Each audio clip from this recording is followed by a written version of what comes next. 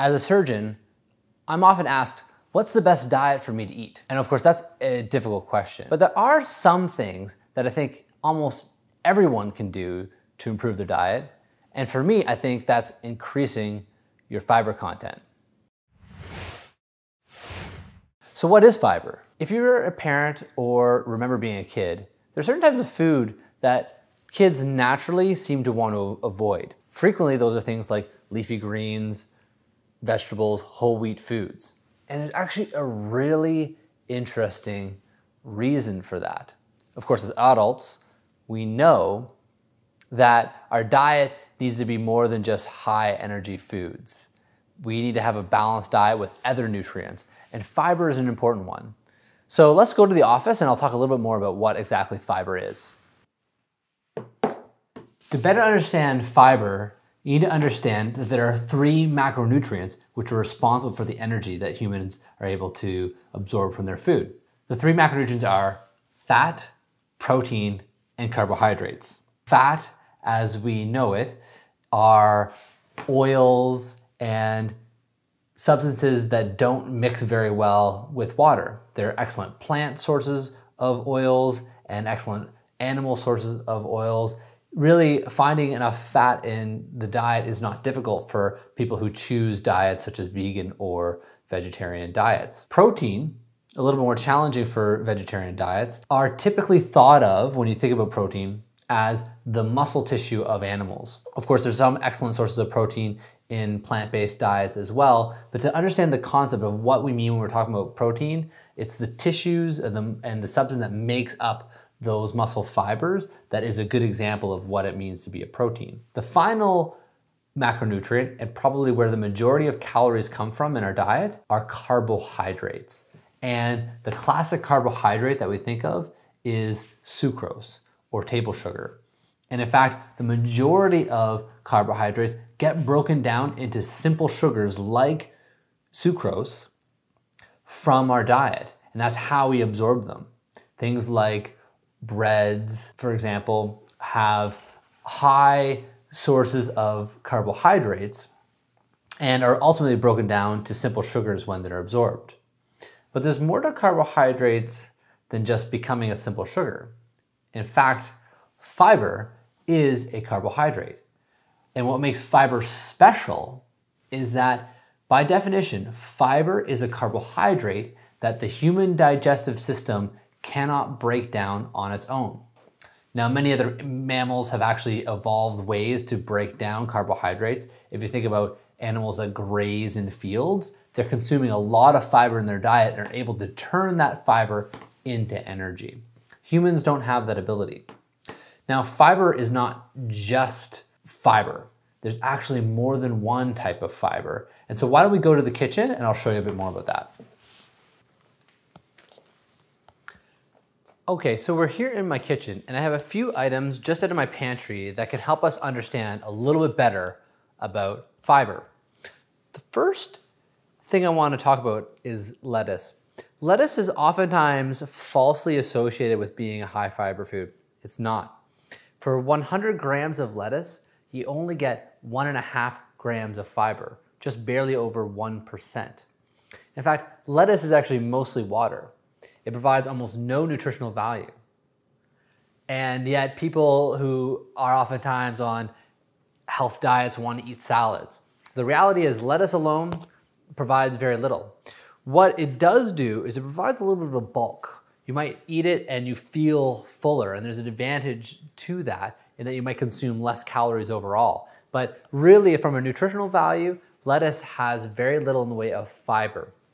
In fact, what it does have though would be some insoluble fibers because the difference between soluble fibers and insoluble fiber has to do with its relationship with water.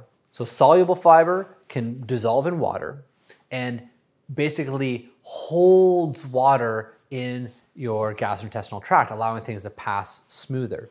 Whereas insoluble fibers aren't holding any water, they just exist as a undigested part of your diet and helps move things along by providing a source of bulk. From my perspective as a surgeon, My preference is to always encourage people to eat more soluble fibers. They help uh, things move along your gastrointestinal tract a lot easier, and they can even help lower your cholesterol. They don't have the disadvantage of the insoluble fibers of potentially causing blockages if you have uh, that tendency. So to help a little bit further, let's look at a few other items here. So this is an interesting uh, bread here. This is a, if you can read that, fully organic, naturally fermented bread there. You can see that it has the non-GMO label on it. Is this a source of high fiber? Well, let's take a look at the amount of carbohydrates that it has. So it has 28 grams of carbohydrates. And in that, it has four grams of fiber. show that there. 20 grams of carbohydrates and four grams of fiber. Now that's for a serving that is 64 grams. So not quite 10% of this is fiber. And yet if you look at the bread itself, it's got that whole wheat characteristic to it. You can see there's flax seeds on it, for example, and the impression you would have is that this is a high fiber food. Let's compare that to oatmeal, one of my favorite foods actually. So again, it has, for a 30 gram serving, has 20 grams of carbohydrates. Show you that there, 20 grams of carbohydrates and three grams of fiber. So 10%, a full 10% of what this weighs is fiber. So relatively high fiber food. Again, three grams of fiber for there.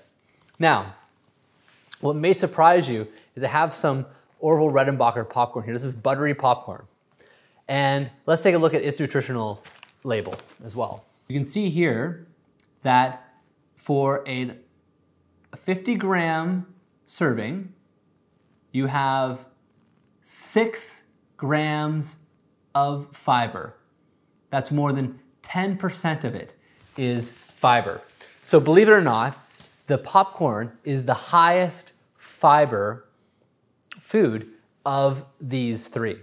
Now, the popcorn is probably mostly insoluble fibers. So recognize that. And how do I know this? Well, think about your own personal experience eating corn. The corn husks that are present in the popcorn are very similar to the corn husks that you have on your, say, corn on the cob that you might be eating this summer.